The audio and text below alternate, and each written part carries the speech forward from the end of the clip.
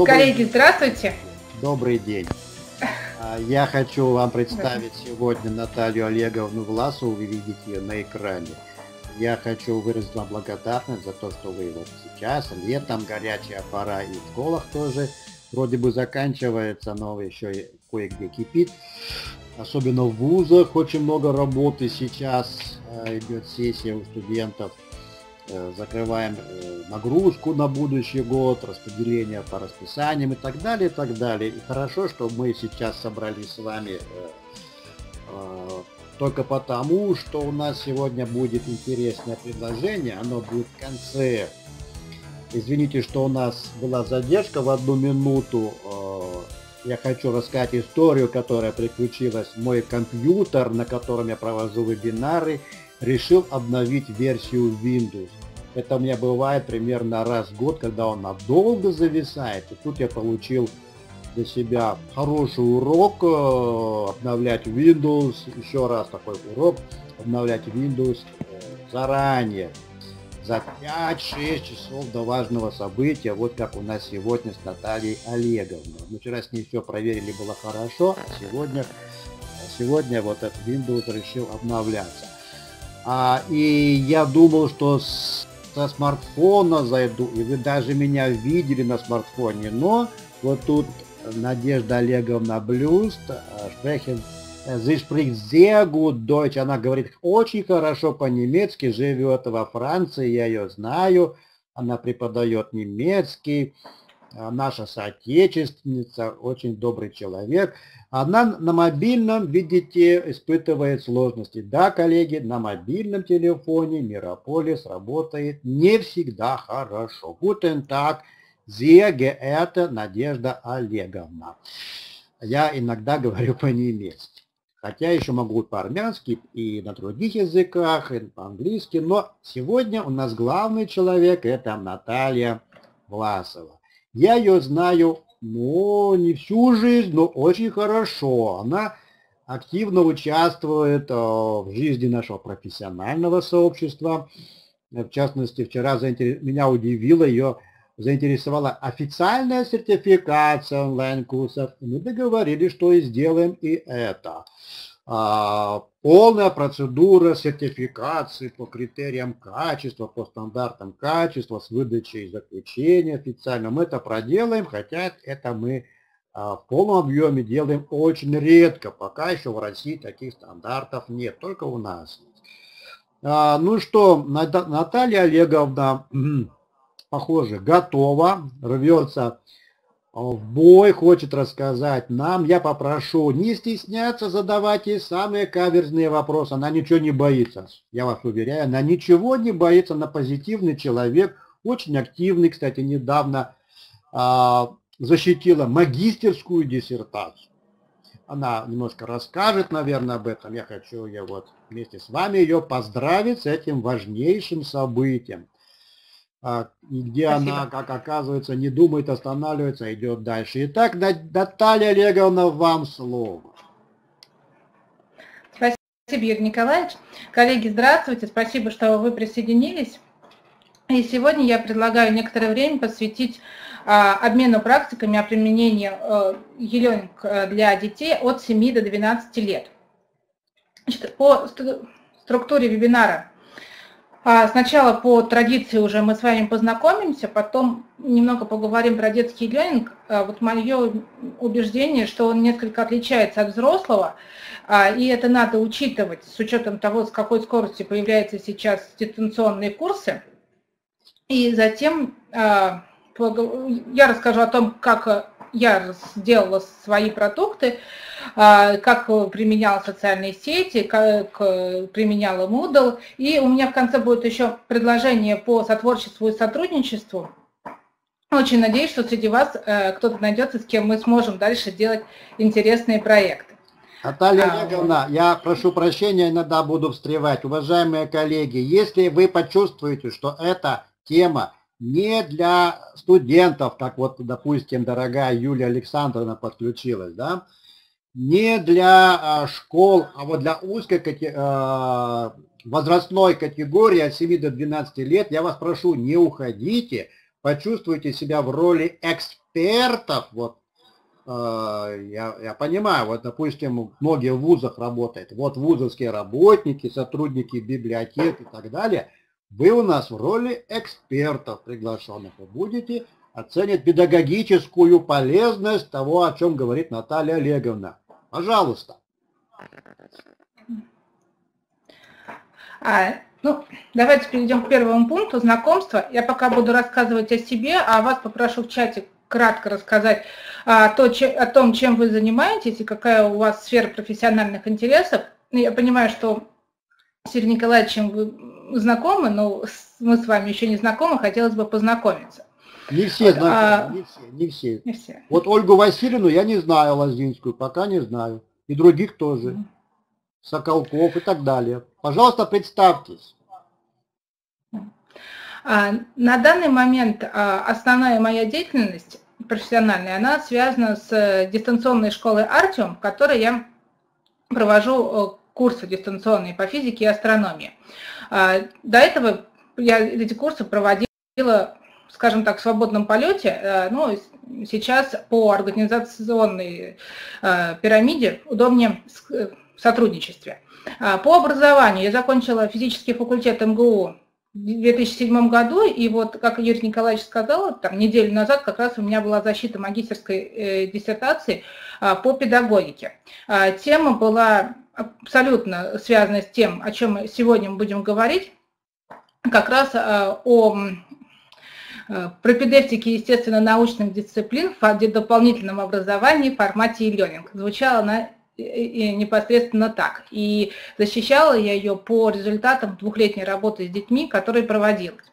А вообще по дистанционному образованию я занималась этим больше, чем два года. Еще лет, наверное, восемь назад а, я работала в компании, а, которые делали IT-продукты э, для расчета тарифов э, для всей России. Соответственно, очень было много командировок. Ну, представляете, да, вся страна продукт новый, надо было есть и обучать, и вот там как раз, э, ну, наверное, скажу честно, что я начинала внедрение дистанционного обучения, потому что у меня был Дальний Восток, и внутренний туризм это, конечно, прекрасно, но, честно, тяжело. Частые командировки на Дальний Восток – это тяжело, а, поэтому дистанционное обучение вот мы начали внедрять именно там. Вот кратко, наверное, о себе я рассказала.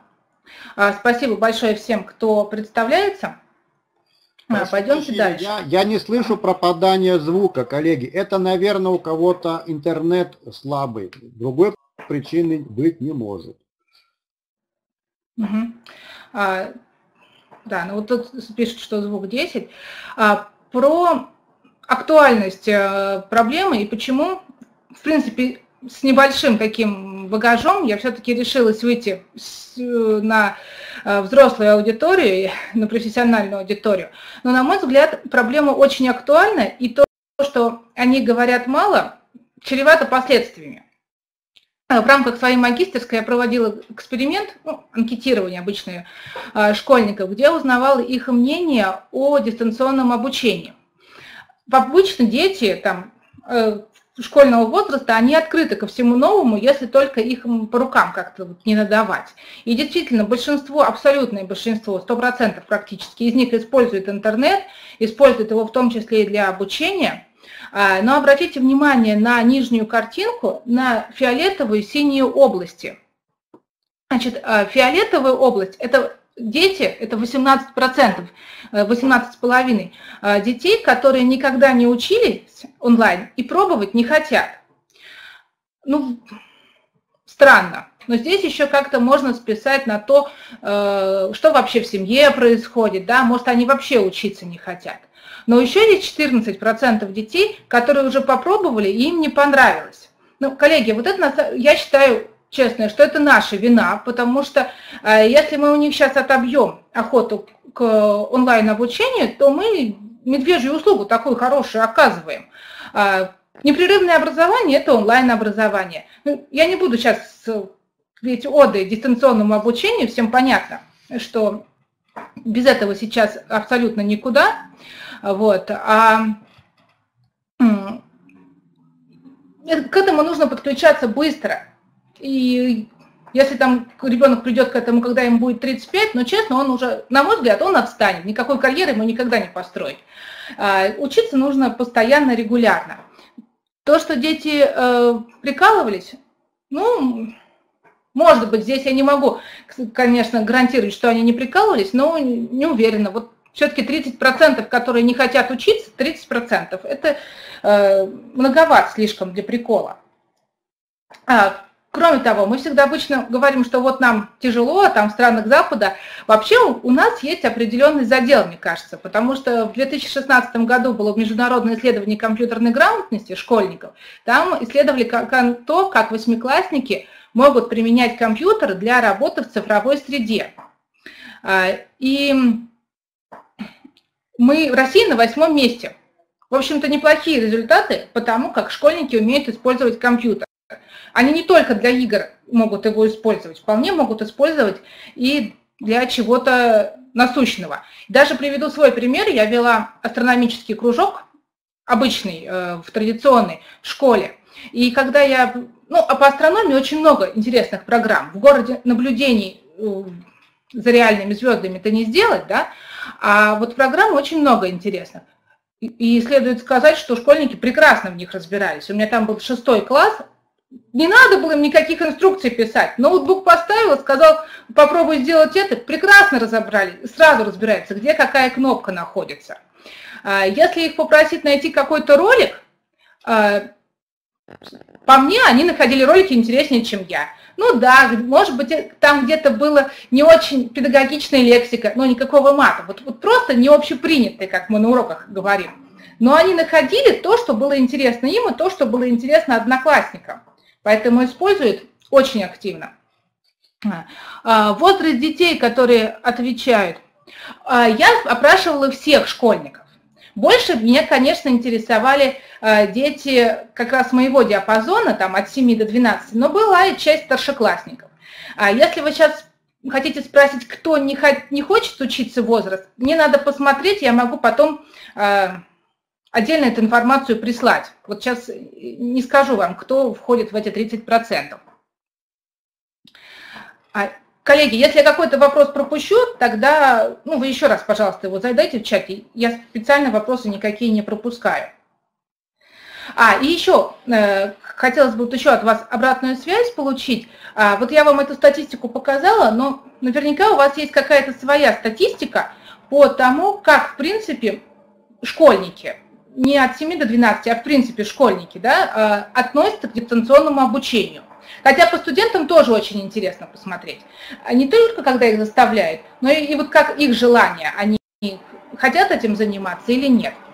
А, потому что если все хотят заниматься, то наша задача есть уже разрабатывать курсы. А вот если они не хотят, то нам сначала нужно их мнение повернуть в сторону дистанционного обучения, а, и далее уже ну, параллельно, скорее, параллельно заниматься разработкой курсов. А, ну, как дети вообще общаются в интернете? Самый популярный, конечно, это ВКонтакте. Меня удивило, что Инстаграм тоже у них популярен. А, Фейсбук, который нам привычен взрослым, он крайне мало популярен. Вот. А самый популярный это, это социальная сеть ВКонтакт. И я использовала эту сеть для обучения. Ну, Сейчас далее скажу о плюсах-минусах. Вот я использовала. Лена Сергеевна, дети младшего школьного возраста не знают о курсах. Да, но у них ведь есть родители. То есть, когда мы говорим про младший школьный возраст, я всегда на подкорке имею в виду родителей, потому что мы же с ними активно работаем. Вот, кстати, переходим к особенностям детского ленинга. А, взаимодействие с родителями один из самых э, важных аспектов, потому что они к нам детей приводят, они оценивают результаты, они детей забирают, если им что-то не нравится.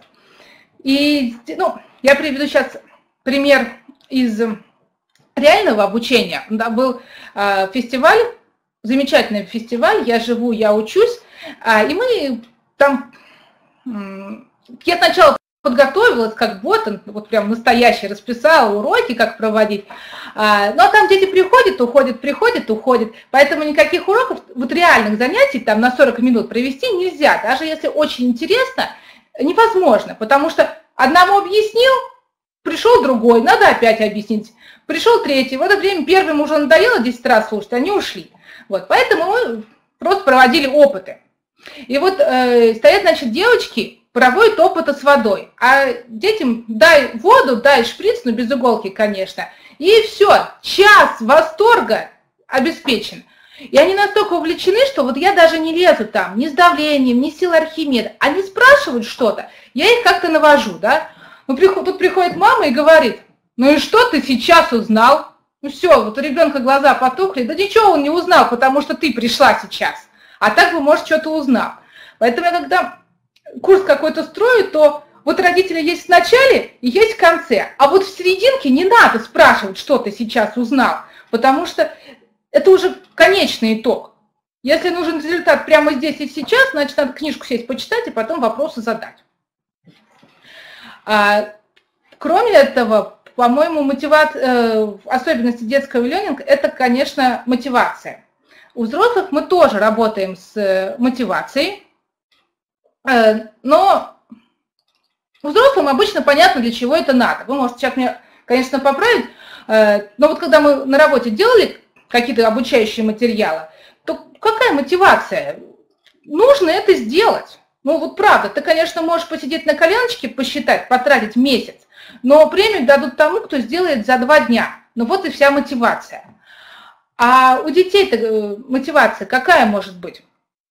Ну, бывает разные, вот я так для себя делю, что это либо те, кто не ходит, э, находится на домашнем обучении, используют дистанционную, дистанционное обучение вместо школьного, э, ну, понятно, должна быть аттестация. Э, для тех, э, у кого учителя используют смешанное обучение, они в школе учатся, и тоже э, есть определенная мотивация. А есть эм, еще те, э, которые готовятся к экзаменам. Тоже вот, вот четкая мотивация, понятно. А есть те, которые кружки по интересам. Вот здесь, кроме интереса, другой мотивации нету. Во первых трех пунктах тоже интерес, он присутствует, конечно. Если можно подготовиться к экзаменам интересно а, и неинтересно, то выберут там, у кого интереснее. Но вот э, если кружок по интересам, то как только интерес у ребенка падает, ну все, я его упускаю, и он, скорее всего, ко мне больше не вернется. Не приведет его ко мне мама. Э, зачем? Это же кружок по интересам. Э, вот. А, и по использованию игровых элементов. Я специально написала игровые элементы, а не, не геймификация, потому что слишком много виртуальностей, вот я, например, не считаю нужным добавлять для детей. А, они должны оставаться в реальном мире.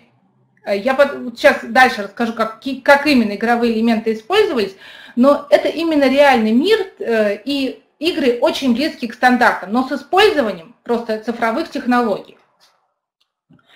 Я сейчас посмотрю вопросы, потому что я видела, что писали, но я их не успевала читать. И тогда дальше перейдем. Вопросов не было, тут добрая дискуссия. А, не было. Очень, очень интересная, очень добрая. Спасибо всем. Мое мнение не требуется, можно не читать, да? Угу. Пока вопросов нет, добрый комментарий, дополнение, то, что вы говорите. Это очень здорово. Хорошо, тогда. Тогда... А, мне часто жалуются на дурацкие игры на уроках. Ну, да, их, ей бы в детский садик идти работать, да, как иногда говорят. Мне тоже один раз, ну не так сказали, но я очень быстро игровые элементы убрала, когда на меня так строго посмотрели, думаю, ну ладно. Но, Наталья Олеговна, коллеги, давайте все-таки а, уточним. Мы говорим о дополнительном не, а, обучении, кружковой работе, да, Наталья Олеговна? Вот на, наша тема да, это да, да. курсы для родителей. Фу-то, простите, вебинар для тех родителей, которые ищут э, интересные кружки, например, по астрономии или физике, а не то, что изучают в школе. Вот это вот, пожалуй, важно уточнить. Те коллеги, которым это не касается, мы просим не уходить, остаться в роли экспертов, педагогов, в том числе из высшей школы, для вот этой категории возрастной. Спасибо. Продолжаем. А, ну, хотела бы сначала сказать по поводу того, что, да, конечно, у меня это кружки, а, но методики обучения, они, в общем-то, универсальные. Для своих кружков я брала методики, которые написаны для э, школы. Да, да, конечно. Для уроков. Конечно. Вот. А, Надежда Олеговна, по поводу игры. Да, э, я понимаю, у меня у самой пятилетний ребенок, я так читала про игры. Да, я знаю, что игра – это отдельная вообще сфера, очень важная. Поэтому я называю игровые элементы. Не претендуя на огромную роль э, положительную, где-то она может быть отрицательной, а, которую может принести игра. То есть это никак не психология, это вот маленькие элементы, которые включаются для того, чтобы познавательный интерес у ребенка э, развить. А, каким образом вообще вот я строила работу с детьми? Ну, самый большой бич, мне кажется, дополнительного образования – это детей туда привлечь. никто вот просто так э, не приведет. А, с одной стороны, интернет дает огромные возможности. Можно написать в соцсетях, дать контекстную рекламу, но с другой стороны, эти же пользователи видят каждый, я не знаю, как вот у вас э, френдлета Фейсбука подобрана, но я каждый день вижу миллионы приглашений на вебинары о том, как развивать ребенка, э, в общем, куча всего. И понятное дело, что пользователи уже все это не читают. Должно быть какое-то предложение, что их заинтересовывает. Вот я для этого использовала электронный журнал, ну, соцсети, понятно, у меня был сайт. А, очень мне понравилось введение электронного журнала. Это не очень долго продлилось, потому что я делала без команды одна и очень трудозатратно. А, но с электронного журнала ко мне приходили сами дети. То есть э, не родители писали за них, а вот десятилетки, была такая три человека у меня так написало, они почитали журнал, ну, им родители скачали, они почитали, а, и дальше они сами мне уже написали и сами пришли на курс. Вот это, на самом деле, конечно, самые ценные ученики, а, очень сильно замотивированные. Вот. Ну и какие-то там марафоны в соцсетях, э, бесплатные пакеты, они, конечно, э, тоже активно использовались. Ну а вот привлекла, дальше-то мне что с ними делать? А, уровень у всех разный. Как нужно отмониторить, по идее. Но мониторить надо мягко. Если даже я не буду говорить, ах ты такой секой тебе двойка, ребенок же сам прекрасно понимает, правильно он ответил или неправильно. И если ответить все правильно, ну классно. А если неправильно, ну расстроится и дальше не пойдет. Хоть он-то в этом не виноват. Потому что по-хорошему я должна мониторить вообще огромный, огромный, э, огромную область, точно совершенно любой самый гениальный ребенок на определенном месте остановится и будет отвечать неправильно. И, ну, расстроится. А группа у меня разновозрастная. Представляете, какие разные знания в 7 и в 12? Да, могут быть. А могут быть, кстати говоря, почти одинаковые. Поэтому группа разновозрастная, потому что э, развитие очень неравномерное в этом возрасте. Поэтому я мониторила, ну, ну прямо очень аккуратно, а вообще всех запускала э, дальше уже по учебным модулям. И вот учебные модули я делала в три ступени. Почему в три ступени? А, во-первых, как я уже говорила, в дополнительном образовании там вопрос мотивации прямо на первом месте. А, по классической теории мотивация, там, познавательный интерес проходит три стадии. Да? Любопытство, любознательность и потом уже устойчивый познавательный интерес. Но потом еще идет теоретический, но с э, десятилетками до теоретического не дойти. А, ну и плюс э, каждая стадия подразумевала более высокий уровень сформированности некоторых представлений, там, у меня там физических или астрономических, которые я даю. А, ну и, соответственно, усложнялся сам процесс взаимодействия. Ну вот, э, вот здесь вот представлено э, так схематично картинками три, э, три ступени. Сейчас я прочитаю. Тут коллеги а, дополняют, да. дополняют, ага. очень важно, здорово, я молодцы. Согласна, Юрий Борисович, да, что Про... здесь как раз очень важно э, их мотивировать, поэтому я и говорила про познавательный интерес. Э, вот на первой стадии э, она у меня проводилась в социальных сетях, и вот игровые элементы, э, их было очень много в начале, и практически на ноль сводились к концу. Как раз вот э, когда мы уже заключительно был этап, у меня там сначала по планам были какие-то игровые элементы, но по реакции детей я поняла, что мне сейчас скажут, ну ей бы в детский садик идти, поэтому я их очень быстренько свернула, добавила содержание, усложнила, и вот э, курс э, уже получился такой, который им понравился. А, но как раз-таки вот в конечной стадии а, вот мне бы захотелось сделать уже что-то виртуальное. То есть, вот, на мой взгляд, дети были готовы. Они бы уже не ушли в эту виртуальную реальность, а вот знания свои, они его вполне могли проверить, улучшить. Вот в этом, момент они уже готовы. То есть, или полное отсутствие игры, или уже крутая такая, хорошая игра. А, значит, ну, по порядку. А, Елена Сергеевна, это не мной придумано. Это еще Перельманом э, придумано, э, что дети изначально, для них важна занимательность, и мы... И, сейчас, извините. А, важна занимательность, и именно занимательностью а, мы их к предмету и привлекаем. Но самое главное в этом случае не уйти в, развлек... в развлекаловку. Потому что если мы заменим э, обучение развлекаловкой, они, конечно, будут радостно к нам ходить и все такое, но толку от этого не будет. Потому что учеба – это труд. Как ни крути, это труд. И тяжелый это труд. И не всегда хочется это делать. Но должно быть что-то, что будет заставлять. И каждый раз э, собственная мотивация, собственная сила воли должна усиливаться. Вот, ну, на первой стадии понятно, что еще никакой силы воли нету, поэтому использовали то, что было интересно. Значит, э, внутри этой первой ступени тоже было несколько так, так слоев, скажем. Первый, самый-самый легкий, э, придумывал сказочные истории про персонажей типа Винни-Пуха, Бабы Яги, Кузьку, вот, вот такие. И туда включала физику. А и самую элементарную, основанную на наблюдениях, простых опытах. Кто-то подключался, то есть маленькая искорка уже зажигалась. И такие курсы, вот маленькие, они сначала где-то а, по недельке длились.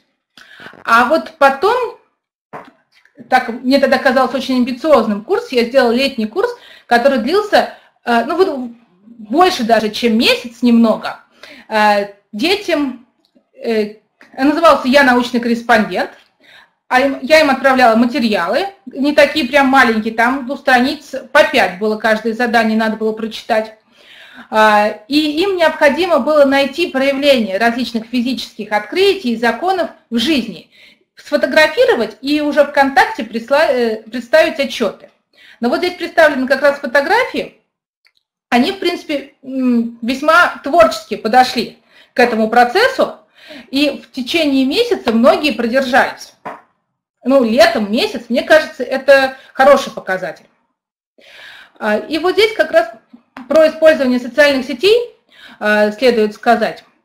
Я их использовала. Ну, не скажу, что были и плюсы, и минусы, конечно. Из плюсов это доступно, легко достучаться до пользователей, можно сделать какие-то репосты, это дополнительная реклама. Из минусов работа ручная, и если пользователей много получается, можно очень легко запутаться. Ни о какой автоматизации, конечно, речи вообще не идет. Э, ну вот тоже форма отчета представлена здесь. Девочка температуру, наверное, меряет. А, и про, на первой ступени мы вообще использовали все, делали даже онлайн-спектакль.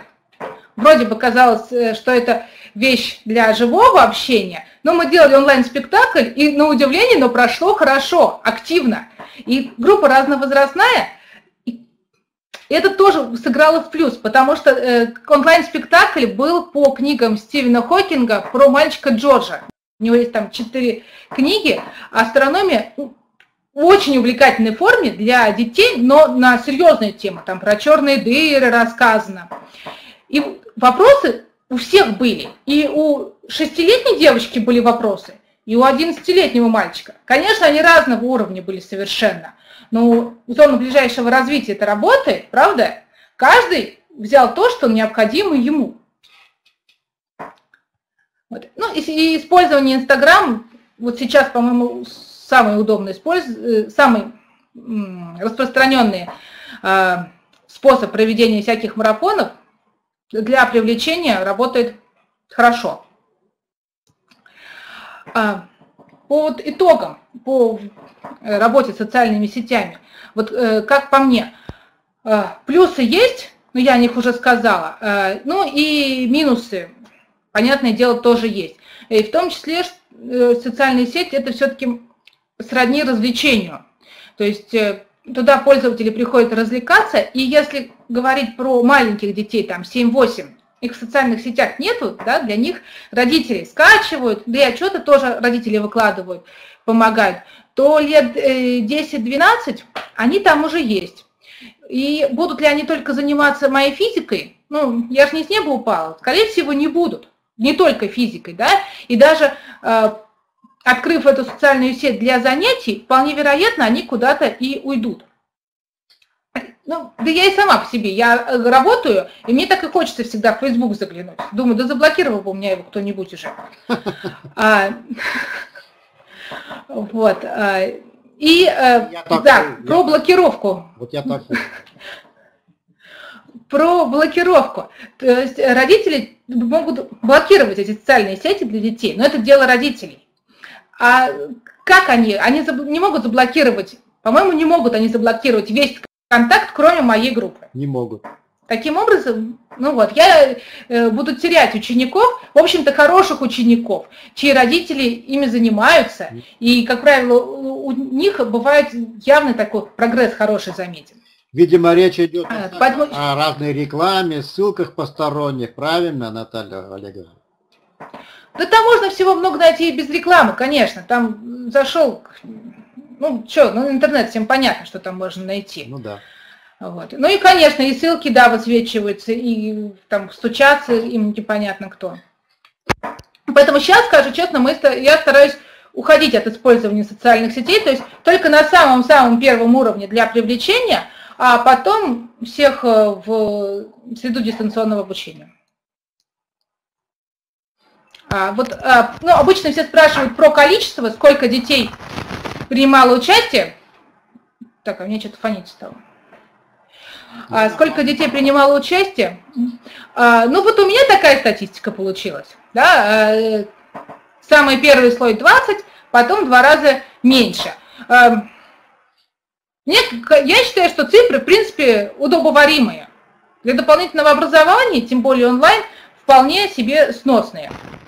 Вот, ну, и, основное здесь, я не обратила внимания, что э, использовался э, свободный график всегда и асинхронное общение. Вот здесь мы не созванивались никак, все комментарии э, были, я им писала. Вот, коллеги, а вы используете социальные сети как-то для ну, вообще для процесса обучения. Было бы очень интересно почитать тоже. И как вам вообще их использование? Теперь по второй ступени. Значит, а, вторая ступень уже гораздо интереснее, а, чем первая. Здесь, а, ну, для примера, вот э, два э, модуля разбираю. Это путешествие по следам Архимеда и пираты неизведанного океана. Значит, тут мы встречаемся с ними всегда. Здесь уже э, общая такая картинка э, есть. Мы с ними встречаемся, э, встречались раз в неделю. До этого дети получали материал для самостоятельного изучения. Это были или короткие видео, минут там 7-10, потому что у нас есть ограничения, по использованию цифровых устройств. А, или материал для чтения. Я всегда родителям рекомендую все распечатывать. Нечего лишний раз сидеть за экраном, можно потратить бумагу и читать э, нормальные, хорошие буквы на листах. А, все повествование велось от лица выдуманных персонажей. Вот на встречах, конечно, я говорила от себя, я там не делала театр э, кукольный, вот, я говорила от себя. Но вот все, что они получали, было от лица выдуманных персонажей. Плюс э, по следам Архимеда, это же так еще исторический, историческая область, а, делали контекст э, исторический, то есть что там происходило, войны, какие были традиции, вот так, чтобы погружение было больше. И надо сказать, что это э, показало свои результаты. А, в принципе, там вот из пиратов вообще никто не отваливался, а по следам Архимеда один человечек отвалился, а, и то он по семейным так, обстоятельствам, то есть э, сначала участвовал, а потом что-то них там произошло, и свернулось его участие. Вот. Эм.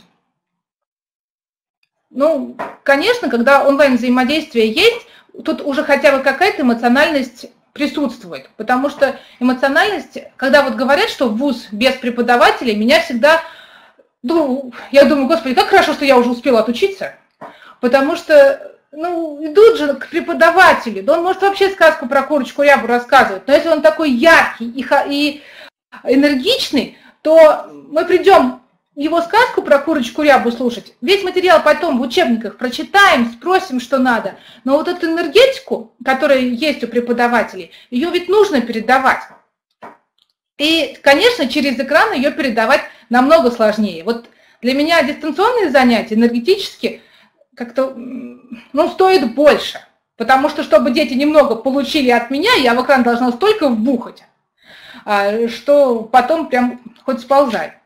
Но тем не менее, вот это онлайн-взаимодействие, оно дает результат, и по результатам потом мониторинга знаний, э, конечно, э, эффект есть. Причем мониторинг э, знаний, если когда одна синхронность только, я им, конечно, даю какие-то тесты, но там все равно тесты, да, правильно, неправильный ответ. Я же не могу их оставить с незнанием, все равно должна выдать правильный ответ.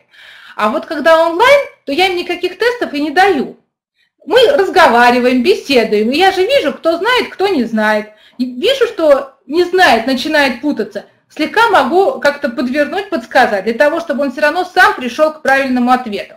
Но, в принципе, тут все технологии, которые работают в школах, на обычных уроках, да, там, они все применимы.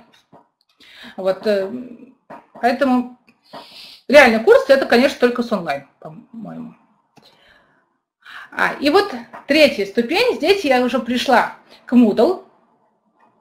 Сейчас. результатах. А, а как ребенок может узнать о своих результатах? А, Татьяна Александровна, сейчас. Э, это оценки. Оценок, конечно, я не ставлю. Вот. О своих результатах, э, вот, мне, вот сейчас не очень понятный вопрос. Что именно подразумевается под результатом? Я же не могу сказать, у тебя сформированы такие-то компетенции.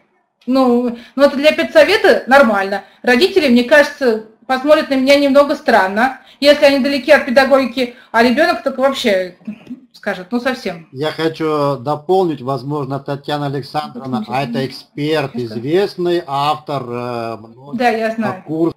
Мы, зна- мы знакомы. Да, и ЕГЭ, и ГИА. А, возможно, а. она опоздала, Татьяна Александровна. Мы говорим о кружковой работе, о ДПО с применением ДО. Вот. И здесь а, так, таких стандартов а, ФГОСов нету, как мы знаем. Тут больше дополнительные какие-то навыки, чего нет в школе. А, и вот, в частности, Наталья Олеговна, и как некоторые фин, и, и как, как и все финские педагоги говорят – она оценки сразу не объявляет, да, Наталья Олеговна? Ну, да, я вообще оценок-то не ставлю. Вообще оценок не Да. Ну, у меня, конечно, есть какое-то представление, да. вот, но я их не объявляю. Но я поняла вопрос, я сейчас э, скажу. Значит, э, Татьяна Александровна, по поводу э, «я не развлекаться пришел». Конечно, А, но, в принципе, он пришел за тем, что ему интересно. У меня не подготовка к экзаменам. Да, ему до экзаменов, моим десятилеткам до экзаменов еще, о, пилите, пилите. Они же эту физику еще даже в школе не проходили. Они пришли так, чтобы им было интересно. И если им интересно, и они провели какой-то опыт сами и смогли его объяснить, а еще потом сверкнули знаниями, и вон папе показали звезду, которую папа сам не знал, то им большего подтверждения-то не надо. Да. Они приходят и говорят, да я крутой, я вот сегодня вот это рассказал, а еще прочитал там э, новую информацию, ну, они, конечно, по-другому говорят, а сейчас я вам всем ее расскажу. То есть у них, мне кажется, вот нет вот такого, что я ничего не знаю, они в курсе, что они знают, и они очень хорошо считывают это. Если видно, ну, все же разные, да, тем более группа разновозрастная, а, кого-то я поддерживаю и подталкиваю. Иногда кого-то даже приходится осаживать, вот так вот, поспокойнее. Кого-то, наоборот, поддерживать и слово давать. Но, а, да все откликаются, на самом деле. У меня маленькие группы, 5 человек, больше, потому что уже, ну, я в скайпе с ними занималась, и больше пяти человек, вот шестой явно лишний. То есть, ну, лишний плохо говорит, наверное, но мне очень тяжело уже за шестью следить. А вот пять отлично идут. А, как они со мной разговаривают, пишут или... Не, а мы разговариваем. Почему? Просто нормально разговариваем. Если я хочу что-то спросить так, чтобы мне прям все написали, но могут они выйти со мной в личный чат и написать. Вот. Но, как правило, у нас идет обычный такой нормальный разговор. Потому что, ну, меня могут поправить сейчас педагоги, которые в школах работают, а я вот так просто по разговорам коллег, в школах разговаривать остается времени мало. Такую программу дали, и так мало часов, что учителю бы успеть вообще все рассказать, а уж к доске вызвать, да еще как следует диалог построить, при всем желании времени мало. А у нас нет программы. По мне важнее, пусть мы меньше пройдем, но при этом они успеют раскрыться раскроются у меня на занятиях, они потом прочитают еще пять раз больше сами. Да, Надежда Олеговна, я скайп использовала. Но не скажу, что... Ой, сейчас. Что мне вот прям очень нравится, но пока больше ничего не получалось. Тут добрые дискуссии. А, Татьяна Александровна. Угу. Я... Вот этот э, вопрос, э, дети практикоориентированы, да. Верно ли суждение, что после курса мне стала интересна физика? Фу, верно ли суждение, что... Ну, в общем, я скажу про астрономию. У меня девочка была, которая пришла вот к самой первой ступени, но явно гуманитарий. Девочка прекрасная, но гуманитарий. Ее там мальчишки сначала прям чуть ли не забивали. Но в итоге она сделала их всех. Во-первых, да, она заинтересовалась, и уже после моего вот курса, когда закончился, она пошла к Сурдину слушать лекции по астрономии. Сурдин – это профессор в Московском университете. Лекции, ну, они для широкого круга слушателей, но они нелегкие. Их надо здесь действительно слушать с желанием и понимать. Просто так за мытьем посуды не получится их послушать. Ну, поэтому, наверное, эффект есть. А, я учу себя ну да, сравнение с, самой, с самим собой, да, я правда так не говорила, но как-то просто не, не приходилось. А, так, ну, теперь про третью ступень. Здесь уже а, пришли к Moodle, Честно говоря, я боялась, я думала, что никто там регистрироваться не будет, это все так сложно. Мы с Юрием Николаевичем очень старались настроить максимально понятно со всеми кнопочками, чтобы было видно записаться. Ну, проблем, кстати, было очень мало. Нет, люди уже привыкли ко всем настройкам, никому объяснять, э, что вы сейчас зарегистрируетесь, письмо придет, и еще одно туда-сюда. Ничего никому объяснять было не надо, совершенно спокойно. Поэтому я так э, подозреваю, что то с первой не знаю ступени, а вторая ступень точно пойдет в Moodle со всеми журналами, с посещаемостью, э, с автоматическими проверками. Э, сюда пойдет. Вот здесь уже вводилась автоматическая проверка. А, и ну, первые тесты, они были прям такие сначала вопрос очень, в вопросе очень подробно все рассказывалось, а потом в ответе надо было выбрать. Но если ребенок даже совсем ничего не знал, но он правильно прочитал вопрос, он все выбирал правильно. И там было много-много попыток, и баллы снижались совсем немножко, и значки за то, чтобы, за то что они прошли э, курс. Поэтому прошли, в принципе, нормально. Сейчас у меня динамика. Я так говорю нормально. А, ну, потом покажу. Вот. Это э, там межгалактическая экспедиция 1 была полностью на автоматической обратной связи, индивидуально, только если были какие-то вопросы, и мне писали. А вот межгалактическая экспедиция 2, вот это уже такой полноценный курс э, получился. Конечно, там я основывалась уже на то, что дети что-то знают, и на свои какие-то ошибки, и на то, что они привыкли дистанционно учиться. А, и э, из чего он состоял, значит? Э, курс был в Moodle, а, перевернутый класс был, потому что заранее я отправляла какое-то рекомендованное видео или что-то для чтения. Не обязательно даже свое, это просто ссылка на интернет-страницу, интернет-ролик, ну, с соблюдением всех авторских прав. А, потом на занятии мы разбирали все это. Затем, как домашнее задание, они получали тест, и э, запись занятия, конечно, была. вот здесь тесты прям очень хорошую роль играли, потому что посмотрел один, прошел, второй прошел, а я не прошел. Надо проходить. Некоторые особые умники, кто постарше, они сразу проходили тесты, бабаха, они вообще внизу, а, тебе 11, а ты сделал меньше, чем на 8. А, так сначала надо было прочитать, оказывается. Поэтому тут э, автоматическая проверка хорошо себя показала. Я не знаю, нужен, про, с Moodle, наверное, все знакомы, нужно показывать, как это реализовано было в Moodle? А нет, я думаю, можно сократить время. Особенно Татьяна Александровна, конечно, а вот, допустим... А, не, ну Татьяна Александровна, да. Это... А вот, допустим, Понятно. фрау Блюз Надежда Олеговна, она э, не очень, насколько я знаю, у нее другие технологии. Так вот. А, Елена... Сейчас. А, ну, вот э, первая межгалактическая экспедиция 1, я сказала, что она была реализована э, в формате игры.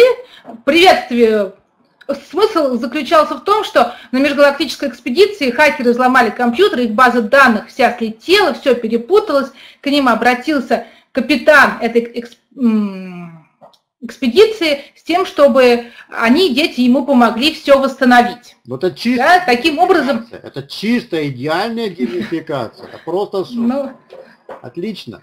Вот, э, э, таким образом об, были обоснованы, почему именно тестирование, э, форма тестирования, да, потому что ну, все-таки тест есть тест, и, ну и значки вот здесь показаны. Разные были формы подачи, разные виды задач. Разные задачи использовались по нескольким причинам. Во-первых, разные когнитивные стили, разные форматы задач любят для того, чтобы всем что-то было комфортно решать. С другой стороны, чтобы было что-то посложнее, тем, кто наиболее сильный. И плюс с заделом на будущее я смотрела на форматы задач, которые в ОГЭ есть, и старалась, чтобы форма была похожа, чтобы вид был похож. Подсмотрела я это у Сингапура, мы так ругали тесты, а Сингапур, который взлетел вообще просто по школьному образованию, а, они везде вводят тесты. Ну, просто у них хорошие, продуманные тесты. Зато дети, когда на экзамен приходят, они этих тестов не боятся, они их решают с первого класса. Поэтому вот виды задач подсмотрено. Ну и вот такая динамика была. В общем-то, мягко скажем, не 100%, конечно, проходили, а, но я вижу здесь два объяснения. Ну, во-первых, э, статистика прохождения электронных курсов стопроцентно крайне редко бывает. Я когда вот спрашивала даже в группе, а, то ну, я, мне очень мало кто прислал информацию о статистике прохождения курсов. Большое спасибо всем, кто поделился. Но судя по тому, что статистики мало, я сделала вывод, что не шибко она у всех хорошая, если честно. Вот. А, и плюс еще такая статистика, э, по мне говорит, о не только достаточности, но и необходимости первых двух ступеней. Вот кто первые две ступени проходил, хотя бы вторую, первая она так была по желанию, по сути, а, тот прошел, ну, из тех, кто участвовал, тот прошел все до конца. А кто не проходил, те быстро сливались. Сейчас я вот здесь отвечу на вопрос. А, по поводу, почему не поразвлекаться. Ну вот Ушинский просто зарекал, что не превращать учебу в развлекаловку. Ну потому что развлекаловка, на мой взгляд, Елена Сергеевна, это отдых. Да ничего плохого в этом нет. Но только это не учеба. А даже если это дополнительное образование, оно все равно требует трудов. И привыкать к ним нужно с малого. Но вот тот, кто готовится к экзаменам, да, они, они же дополнительно занимаются. Конкретно сегодня, скорее всего, их это в школе не спросят. Но сколько трудов они прикладывают к этому? Поэтому учеба – это всегда труд. И это неплохо, это не занудный труд. Но учеба – это труд, и к этому, мне кажется, нужно сразу при, привыкать. И, может быть, поэтому я, если честно, недолюбливаю научные шоу. Ну, ну, можно развлекаться вот чем-то еще, но если уж проводится эксперимент хороший, красочный, то, ну, хотя бы в игровой форме бы, ну, давайте мы какую-то гипотезу сформулируем, а теперь объясним, почему. Для того, чтобы в голове осталось не просто взлетающий фонтан, но еще и причина, почему он так взлетел.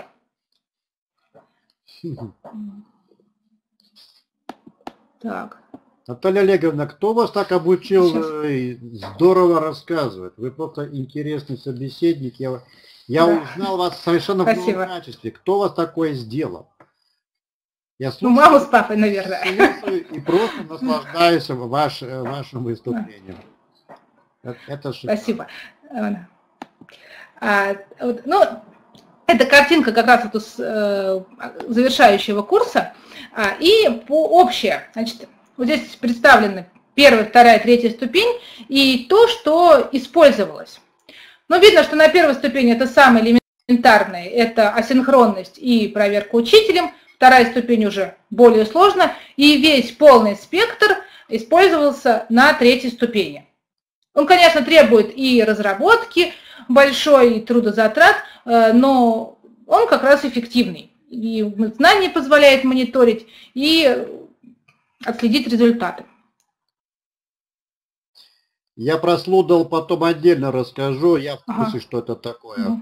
Это, это очень э, непростая штука. А, э, вот так важно. Татьяна Александровна, а я нисколько не против игры, и деловые игры, они же если так на них посмотреть, не настолько уж прям это такая развлекаловка, а, там ведь и поработать, и подумать приходится. Да, игры, они... Я за игры, я за то, чтобы не делать просто ярко, но бессмысленно. Отлично, отлично, отлично. Татьяна Александровна, напоминаем, речь идет о максимум 12 годах в дополнительных кружках, дополнительное обучение. 7-12 а, лет.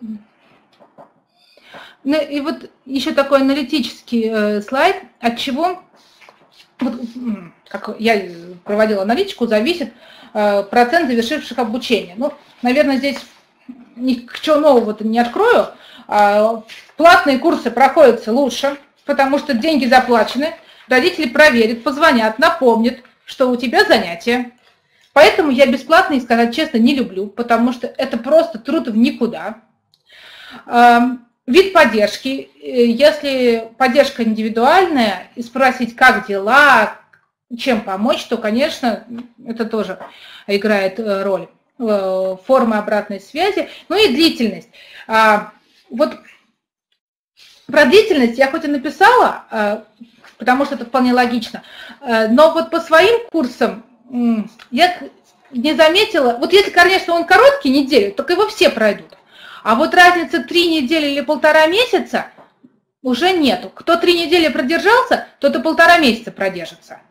Вот. Э, тут вопрос еще для того, чтобы у педагога хватило запала и энергии все это готов, подготовить сразу и все провести. А у учеников, по-моему, хватает.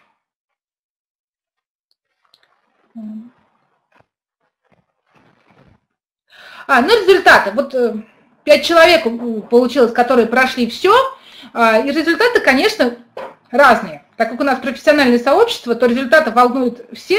А, у меня основные результаты были сформированность у них познавательного интереса. Но потому что сравнивать, чему они научились, ну с кем я буду сравнивать? С теми детьми, кто это не проходил? Но ясное дело, что они научились гораздо больше, чем те, которые не проходил. Что тут сравнивать? Вот. А насколько развился познавательный интерес, там по-разному. Вот у первых двух, у Димы и Алены, у них активно прям э, динамика шла, видна. Алена по личному результату, она рекордсменка, потому что, ну, говорю, вот, вот самый э, гуманитарий, она прям взлетела выше всех в итоге. А, Влад, вот у него динамика самая скромная, потому что он был где-то средний, ну, он много знал, такой начитанный мальчик, но дальше весь его интерес э, вылился в соревновании с Димой. То есть предметного интереса было очень мало. Он много говорил, много не по делу, его приходилось осаживать. Э, вот э, он здесь, наверное, аутсайдером получился. А, Дарья и Ярослав, они самые маленькие были, и динамика у них тоже была ну, положительная явно. Им было, конечно, сложновато с более взрослыми ребятами, но молодцы, удержались. Мы даже пару раз с ними встречались просто так индивидуально, прямо вот вдвоем. А, это помогало. Но, тем не менее, я за разновозрастную группу, потому что вот эти индивидуальные занятия с младшими, они их подстегивали просто. А, но за старшими они тянулись. Они бы не вытянулись так, если бы были среди себе равных. Ну и на самооценке там плохо никак не сказывались, они же понимали, им 8, ему почти 12. Че? Когда им слово давали, их слушали, то там вообще прям скачки. С ними же сравнивать. Ну, Татьяна Александровна, ну, конечно, они чему-то научились у меня, безусловно. Конечно, если я их учила, они пришли не знали, а сейчас узнали. Тут...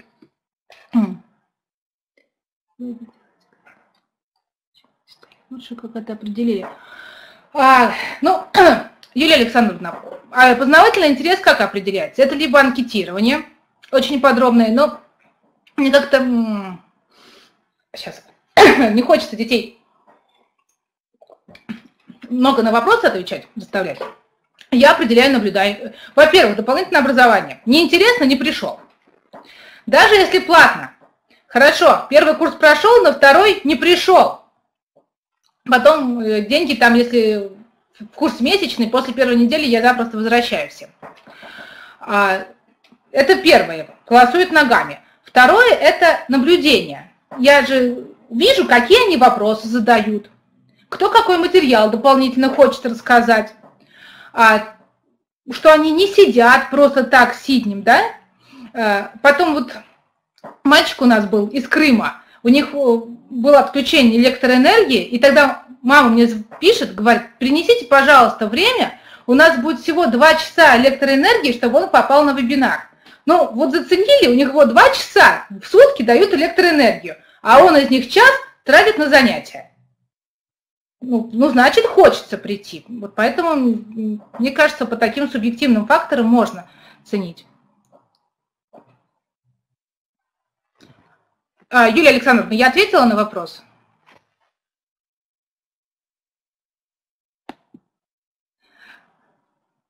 Спасибо. А, ну и какие вот сейчас э, есть э, планы, хотелки? А, сейчас я вот уже по опыту думаю, что в СДО всех и сразу. Часть игровых элементов а, сделать все-таки на iSpring Suite. Я в этом году не закончила, правда, еще обучение, а, но можно пробовать.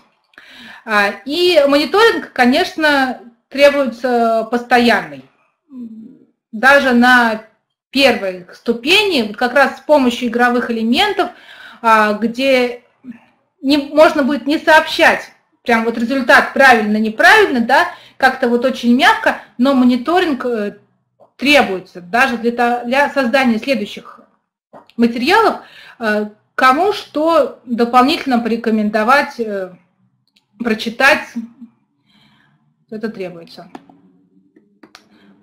И плюс еще у нас сейчас есть такая идея, ну, как бы коробочный вариант, у нас Оля Орлова его называет, совместить материалы, которые будут распечатываться с дистанционным обучением. Ну вот эта игра-ходилка просто, а, попробуем в нее как-то поиграть вместе на занятиях. Не знаю, как получится, но хочется попробовать. Вот. И э, у меня очень много идей, планов, я вас приглашаю э, на, к сотрудничеству и сотворчеству. Вот сейчас у меня прям вот горят глаза сделать дистанционный курс по естествознанию для младших подростков и младших школьников. Почему по естествознанию, я думаю, понятно, потому что э, для них физика, химия, биология и география, ну, по-хорошему, не должны так сильно отделяться. Их потом разделят, а соединить, правда, забудут. Вот, ну, вот там бы их сначала соединить, чтобы они видели, что с одного все идет. А то у меня научный руководитель рассказывал историю – он физик, он говорит, я, ну, электрон там. Он говорит, сидит, сидит мальчик потом. А, так это что же электрон, что и на химии? Ну, ну, в 10 классе мальчик понял, что электрон физики и химии это оказывается одно и то же. Вот. Э, а если про, педев, педевтики рассказать, как-то все вместе, вот соединить эти дисциплины, то, может, и в 10 дети уже будут знать, что электрон в химии и физике – это одно и то же. А сделать билингвальный пропедевтический курс тоже по физике с элементами английского языка. Я начинала его делать, но моих знаний английского явно не хватило. А, и вот физика в историческом контексте. Э, тоже был вот модуль как раз по следам Архимеда. Это когда мы не просто э, а, изучаем все открытия Архимеда, да, там для физики темы это очень благодатные, все к Архимедову прибегает, а, но еще и плетаем туда исторический контекст. А, но опять-таки для того, чтобы не отделять э, разные области. И, и дети так лучше запоминают, воспринимают все, даты укладываются э, в голове. Э, поэтому, если вам интересно, я буду очень рада обсудить и начать сотворчество, скажем так. Вот, ну, на этом у меня все. Если есть вопросы, я буду рада ответить. Если какой-то вопрос был, я пропустила, то повторите, Я, я те вопросы зафиксировал, сейчас я их озвучу. Угу. уважаемая Людмила Георгиевна, а, мы уже, кажется, с ней давно общаемся. При лицензировании курсов а, на доп. образовании вообще лицензии не, не требуется ни на какие дистанционные курсы, коллеги. Если есть у организации э, лицензия, аккредитация, то на, этого достаточно, больше ничего не надо. Правильно? Правильно, никакой э, курсы у нас в России не требуют лицензии. Дальше, тут был вопрос про Sludl. Я очень, э, про Moodle плюс, плюс Second Life. Я очень часто и очень внимательно смотрел на эту интеграцию, коллеги. Она просто нереальная, сложная и перспектив очень мало, там надо хорошо вкладывать э, средства, писать сценарии. Но это не означает, что в рамках вот этого предложения от Натальи Олеговны мы не сможем вернуться к Слудл еще раз. Коллеги, а, Наталья Олеговна предлагает несколько идей, давайте я вернусь, а, а вузовские коллеги могут нас прокомментировать, оценить, коллега Нацкевич в частности. Смотрите, что предлагает Наталья. Объединить преподавателей добровольно по созданию электронного дистанционного курса по естествознанию из разных городов, из разных, эм, может быть, даже из стран, вот тут из Германии госпожа Блюз присутствует. Смотрите, добровольно попытаться обсудить и создать новый курс. Причем, я так понял, это будет платный коммерческий курс билингвальный курс по физике был вопрос. Я так понял, это на двух языках. Может быть, русский, может быть... Нет, нет, нет. Тут я вам поясню, хорошо? Да. А, нет, билингвальный курс по физике немножко другое. Я в школе, когда пробовала вводить, а, ну какую-то формулу, но у меня уже там шестой класс, с ними можно формулами по физике поиграться. Но им тяжело. А я когда вводила, допустим, я им не писала там скорость, я писала speed. И, о, speed! Потом э, делить не на время, а на. О, умножать. Speed умножить на time равно. Ну, то есть вот какие-то такие вещи. А, плюс, э, в принципе, зачем это нужно? Ну, ну, понятно, что английский, он сейчас везде нужен, да? А, и если общим словам, общей лексике а, дети учатся, ну, в школах учатся, потом поездки за границу и репетитор, это есть. А вот специальной лексики нет совсем. И получается, вот ребенок приходит в институт, в технический вуз, и ну, реально он к науке подключиться не может. То есть он сначала будет долго въезжать в специальную лексику, и только потом он сможет как следует подключиться к науке. Угу. Это, ну, это проблема. У нас, э, я знаю историю одного очень умного аспиранта, который уехал, по-моему, в Штаты. В общем, он вернулся, потому что он не смог справиться со специальной лексикой. Угу. Вот. Конечно, мы до такого уровня, до аспирантского-то никого доводить не будем, но мы дадим базу, да. а эта база потом уже со временем будет Ну вот уже пошли первые отклики, в частности, от Татьяны Алексея Александровны. У нее богатый опыт онлайн-обучения. Mm. И вот идея интеграции усилий разных педагогов в рамках одного проекта, добровольного, не государственного проекта, вот Татьяна Александровна, э, ну как смущаете, Татьяна Александровна, вы э, обладатель э, титула, ваш курс является, имеет знак качества. Он, он не просто так. Вы в России одна из уникальных личностей. Ваш курс просто уникальный, я знаю. И знаю курс Натальи Олеговны. Там, там, кстати, там, кстати, очень много, что она не рассказала, но вот все, что коллеги говорили, все там есть. И деловые игры, когда капитан а, воздушного корабля межгалактической экспедиции обращается за помощью, они начинают думать, это, это та же деловая игра. Это те же штабные игры, только для детей. А, вот тут уже пошла дискуссия рабочая, Moodle, не Moodle или iSpring. Это очень классно. Очень классно, что вы, э, вы коллеги, готовы а, к дискуссии, к обсуждению, а, что технические аспекты.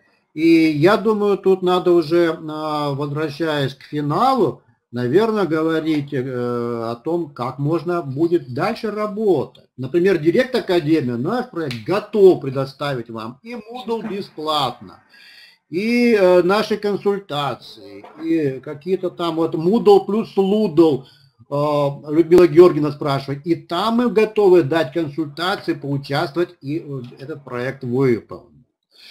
А, Moodle, ну, тут уже говорили про интерфейс Moodle, и Татьяна Александровна ответила, интерфейс это зависит э, от настроек, от умения пользоваться. Проблем нет. А можно я отвечу? А, да, да, извините.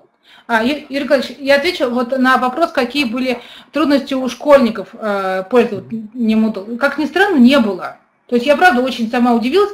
Были проблемы единственные с самого начала э, с настройкой. Там кому-то не приходило письмо для того, чтобы подтвердить регистрацию. Но вот Юрий Николаевич это исправил. А школьники, дети, да нет, спокойно, я еще им сначала инструкцию, да, давайте мы с вами посмотрим, как, они говорят, да что, как, все понятно, что, дали, тут все написано. Поэтому, мне кажется, мы где-то недооцениваем.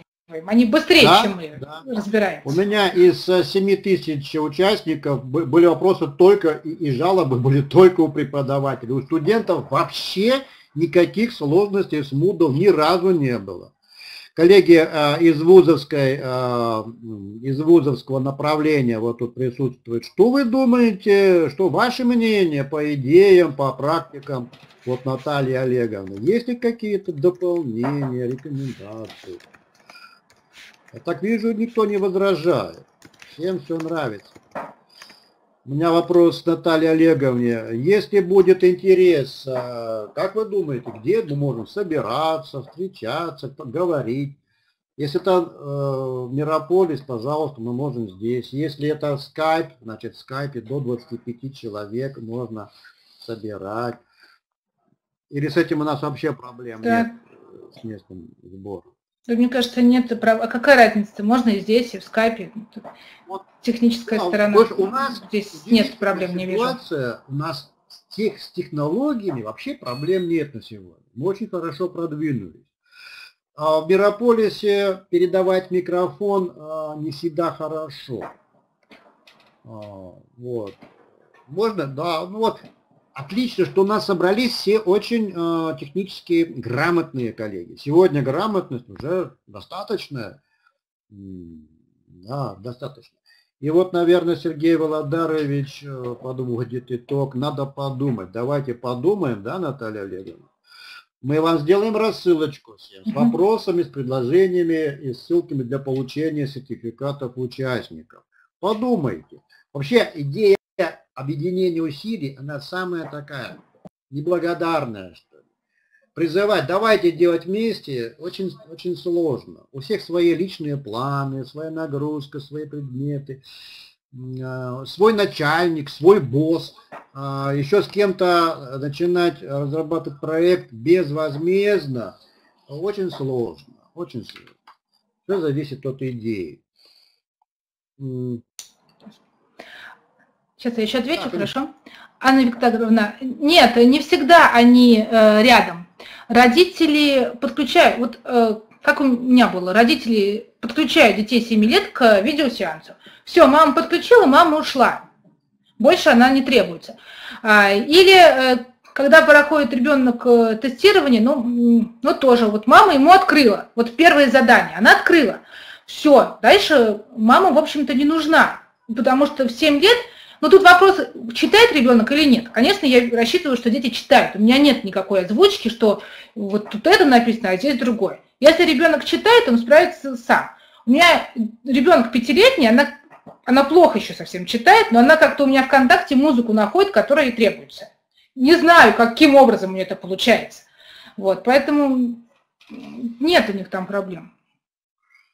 Ну, Спасибо, коллеги, за ваши отзывы. Так, вот тут я вижу и персональное.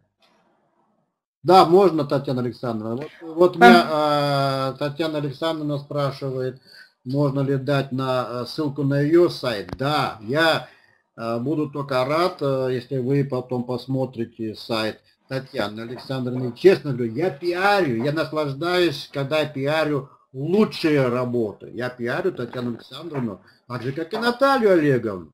И хотел бы пиарить Людмилу Георгиевну, руководителя Центра информационных технологий Югорского, НИИ информационных технологий, если правильно нашел вашу должность, Людмила Георгиевна.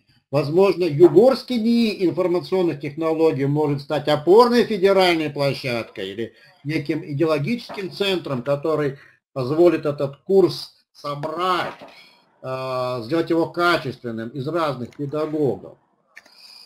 Так, э, так, вот сайт Татьяны Александровны. Это личная ее работа, колоссально интересная работа. Посмотрите, коллеги, потом.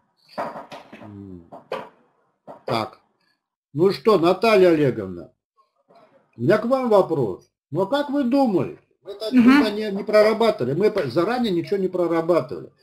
А, скажите, пожалуйста, ну вот создадим этот курс.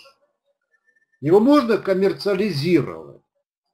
Я так понял, что его нужно, его нужно коммерциализировать, потому что платное а, обучение, платные курсы, а, они лучше получаются для, для ребенка. Там дисциплина есть. Я правильно понял?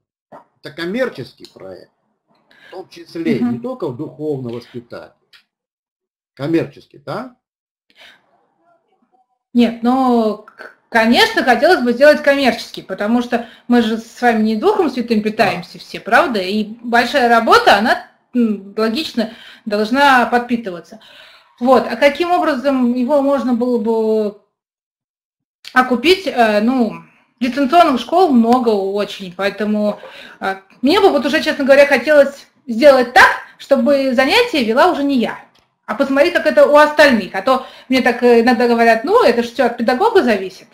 Вот. Было бы хорошо сделать э, курс, э, затем, ну, типа франшизы его продавать, а, а пусть ведут уже другие педагоги. Хорошо, вот. хорошо, хорошо. Ну что ж, давайте подумаем. Это, это э, такое предложение необычное, я скажу необычное, сетевое сотрудничество не организации, а личности педагогов. Не по одному предмету, а из разных предметов в рамках некого цикла естествознания. Давайте подумаем. Потому что это очень необычная идея. Я так вижу, она э, требует размышления. Это еще не проект, это наброски будущей такой идеи сетевого взаимодействия. Наталья Олеговна, больше вопросов? Юрий сейчас еще вопрос. Ва... Есть, есть вопрос. Ваши, да. да. Ваши.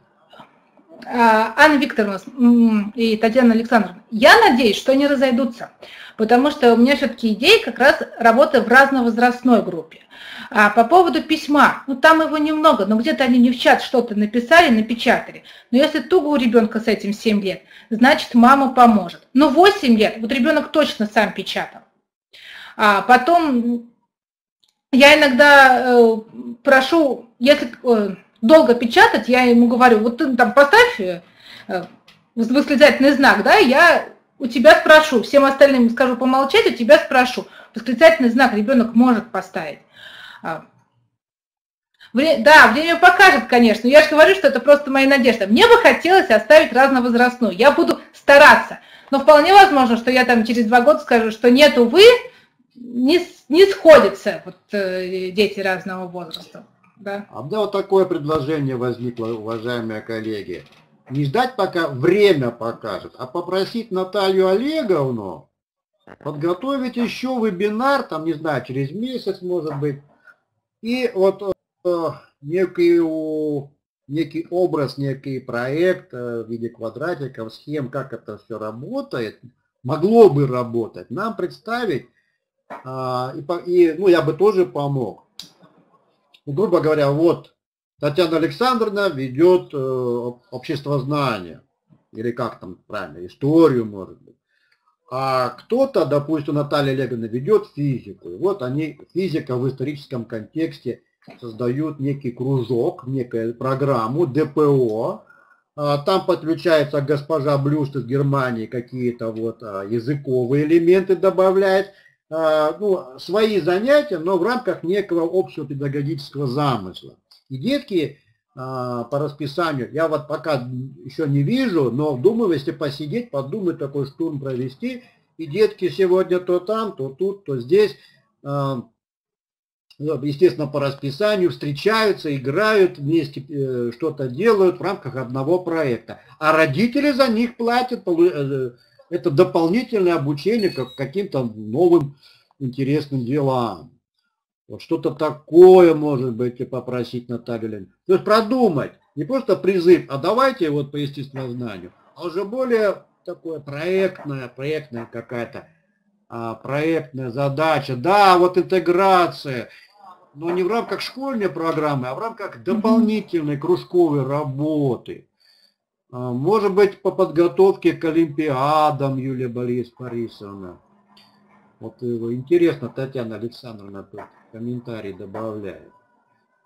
А, как вы думаете, Наталья Ильина, ну, подойти э, к формулировке даже не проекта, а предпроекта, контура проекта более рельефно? Угу. Ну, если есть интерес, то я бы, конечно, такой план а, идеальный ну, проект с удовольствием бы нарисовала. Есть интерес к такому эскизному проекту? А, так, а вот еще какие трудности были при обучении? А, да, да, я сейчас еще отвечу. А, значит, Юлия Борисовна, с Олимпиадами МГУ никак не коррелируется. Ну, я не ставила своей целью подготовить олимпиадников, как вот директора школ любят. Вот ты берешь класс, у тебя должны быть э, победители всероса. Ну, какой ценой и зачем? А, не коррелируется с Олимпиадами МГУ э, курсы. Хотя вы правы, на самом деле для наиболее сильных учеников, конечно, нужно вводить элементы. Здесь а, кстати... Назовем это модным словом зона роста. А, кстати, вот. а... Наталья Олеговна, ну, вы, у вас же главная ага. цель это побудить интерес. У вас был кейс интересный, когда девочка чистый гуманитарий первоначально, вот по всем признакам, стала угу. резко обгонять по астрономии своих э, сверстников. Э, не, не будет ли вот этот интерес предмету основой для олимпиадных э, каких-то дополнительных, последующих курсов или подготовки. Это... Вы же зажигаете их, а потом он сам идет. По-моему, это и есть интерес. Интерес. Интерес, да, конечно. Но я думаю, Юлия Виктор Борисовна имела в виду и непосредственно подготовку уже более предметную. То есть вот интерес есть, а теперь более предметная подготовка. Ну да. А, вот. Интерес, э, ну, готовим, предметно, конкретно к Олимпиадам пока не было. Но замечания принимаю. А, так, а какие еще трудности были при обучении? Да вот что-то сейчас уже не вспомню, какие э, были трудности при обучении. А, много трудностей было при организации, при, всю, при создании всего этого. Вот. А, ну и изначально, мне кажется, что трудности в основном исходили от меня, да, то есть это были мои трудности, которые у преподавателей со стажем, возможно, не, воз, не возникнет. Во-первых, я вот сейчас, когда свои первые занятия а, пересматриваю, первые материалы, то, ну, в общем, хочется по голове надавать, потому что делать надо по-другому. Ну, ну, тогда не знала, сейчас делаю по-другому, да. Сейчас идет уже лучше. А, во-вторых, и техническая сторона, и вот эта межгалактическая экспедиция, которая на модул реализована, она долго, честно говоря, это все делала. Понятно, что я, там я делала месяц, если я сейчас сяду делать заново, я сделаю дня за три. Вот. А, ну и общение непосредственно по скайпу э, тут э, тоже. Но вот кто-то говорит, когда его прервать, да, чтобы остальным слово дать. Где, но где-то небольшую жесткость все равно надо проявить, потому что если всегда очень мягко, ну честно, на шею садятся и пытаются уже какой-то балаган вести. Поэтому как-то вот э, мне почему-то это напоминает катание на виндсерфинге. Я, правда, никогда не каталась, но вот так же по волнам. Вот ловишь волну и по ней пытаешься перемещаться. То есть вот сложности, ну, самая главная сложность, это, конечно, привлечение людей. Вот это вот всегда. В нашем мире есть все, кроме, ну, скажем, клиентов, да, все равно нам родители деньги платят, они наши клиенты. Вот, это самая большая сложность. Анна Викторовна, спасибо за вопрос. Самое тяжелое, ну, да. вот рассказала Наталья Олеговна, эта сложность у всех есть. Это подготовить то ли Moodle, то ли iSpring, вот эти технологии, они так тяжело идут. Но Наталья Олеговна перешла этот рубеж, она делится с нами своим опытом. А, Татьяна Александровна Ширина то же самое, у нее колоссальный технологический опыт. Вот мы предлагаем этот опыт объединить, чтобы было легко. Да, да, да, да. Я думаю, в этом посыл это Наталья э, Олеговна. Вот это технологически самый тяжелый задел, и вот у Татьяны, я, я представляю, какие она перетерпела затраты времени и ошибок, чтобы выйти на суперкурс. У нее суперкурс, но это адский труд. И речь идет, чтобы давайте э, хватит уже поодиночке быть рабами своих Э, технологических проблем. Давайте вместе их решать. Вот о чем речь. Ну, четко ставится цели. Ну что ж, спасибо. Давайте, наверное, спасибо Наталья большое. Олеговна, подводите-ка а, итоги этой а, удивительной встречи. А, спасибо большое, Юлия Борисовна, кстати, я правда мечтаю поехать в Сингапур, вот, правда, командировку, я думаю, мне никто не организует, э, придется самой, но это была бы очень интересная поездка. Спасибо большое, коллеги, за очень теплый прием, спасибо за вопросы и комментарии. А, я очень рада, что а, предложение по сотворчеству и сотрудничеству вызвало интерес. Кстати, я тут еще одно забыла написать, как раз электронный журнал, который вот я делала, а, Давайте тоже попробуем сделать вместе на разные темы, вот для школьников, да, не для родителей, а именно для школьников, которые бы они могли читать. Не так уж много времени на это уходит, и плюс еще я хочу там попробовать студентов подключить. А, думаю, что это будет всем интересно и полезно. Вот, а, как раз интерес э, к совместным курсам есть. Я, конечно, с удовольствием постараюсь прорисовать э, какую-то дорожную карту всего этого дела. И ну, надеюсь, мы с вами еще раз соберемся ну, вот, и обсудим. Еще раз большое спасибо вам за участие, и Юрий Николаевич, спасибо за возможность. Всем большое спасибо. Всем, всем, всем большое спасибо. Это была невероятно интересная встреча. До свидания. Спасибо большое. До свидания.